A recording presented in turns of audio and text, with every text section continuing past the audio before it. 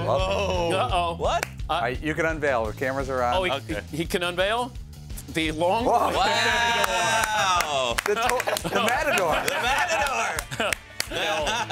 Matador. Dan, the Should Matador. like a- the hair, Dan. Oh, the hairs. look at that guy. That, that, that guy's killed. Todd, we, we have a lot of pictures in the studio of people who painted Dan and they look nothing like him. That Yeah. actually looks like him. That actually, yeah, looks like. Oh, that's great. going to get a good spot. But he's been working on this for like three years. haven't? Yeah. he, he started this. All of a sudden, I go, hey, is it finished yet? My portrait finished? And then all of a sudden, we finally get it. Wow. That's great. Look at the detail in like your coat Let me there. It's Can I pretty rad. explain? Yeah. Can you? oh, you. We're you- about to- we're think about to get have into all of that. Explaining. Yeah, a lot of explaining to do. Yeah. Well, there's, there's my That's wife's funny. Mother's Day gift right there. Awesome. Yep. Pull up a scene. Gonna Yes. I've been waiting a while. Oh. oh yeah. I know my mother was getting sick of looking at it. You're back. looks really good.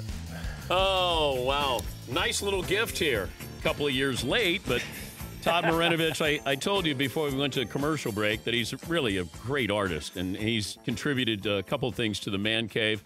Also played a little football for USC and the Raiders and the CFL. Uh, to learn more about Todd, uh, toddmarinovich.com to see all of his artwork there. But uh, you started this a while ago. I did. You finally got around to completing it. What have you been doing in the meantime here?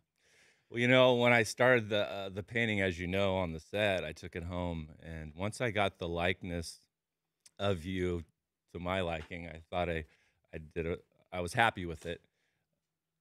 And a lot of time when I'm painting, I'm not trying to come up with anything. And I was working on your sport coat, and it had this matador look to it. And so, what I've learned is don't fight it, just go with it.